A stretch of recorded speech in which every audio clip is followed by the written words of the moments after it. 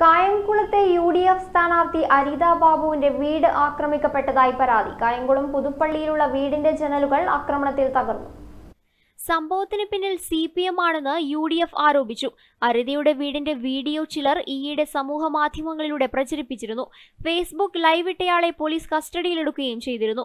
അരതിയുടെ ജനപിന്തുണയിൽ അരിശം പൂണ്ടാണ് C P എമ്മുകാരുടെ ആക്രമണമെന്ന് പ്രതിപക്ഷ നേതാവ് രമേശ് ചെന്നിത്തല ആരോപിച്ചു. തിരഞ്ഞെടുപ്പിൽ പരാജയം ഉറപ്പാകുമ്പോൾ എതിരാളികളെ കായികമായി നേരിടുന്ന സ്ഥിരം ശൈലി സി പി എം ഇവിടെയും ആവർത്തിച്ചിരിക്കുന്നു. പ്രിയങ്കാഗാന്ധി പ്രചാരണത്തിനെത്തിയതോടെ അരിതയുടെ ജനപിന്തുണ വർദ്ധിച്ചിരുന്നു. അരിത വിജയവഴിയിൽ മുന്നേറുന്നതിനിടെയായിരുന്നു ഈ ആക്രമണമെന്നും അദ്ദേഹം ചൂണ്ടിക്കാട്ടി. News desk real news Kerala.